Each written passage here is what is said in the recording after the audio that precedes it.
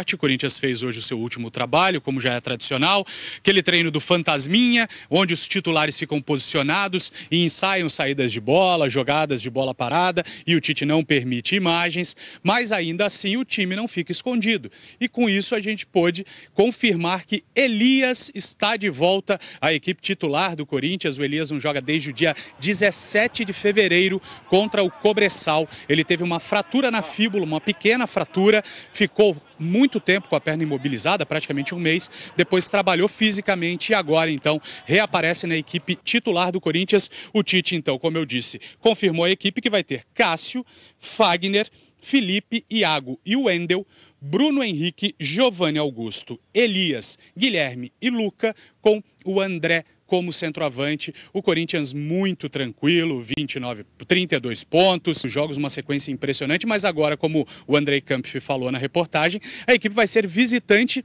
naquela que era a sua antiga casa, Pacaembu. Então, situação diferente para os corintianos que retornam ao estádio mais tradicional, o palco mais tradicional do futebol paulistano para esse clássico que vai pegar fogo, Abel.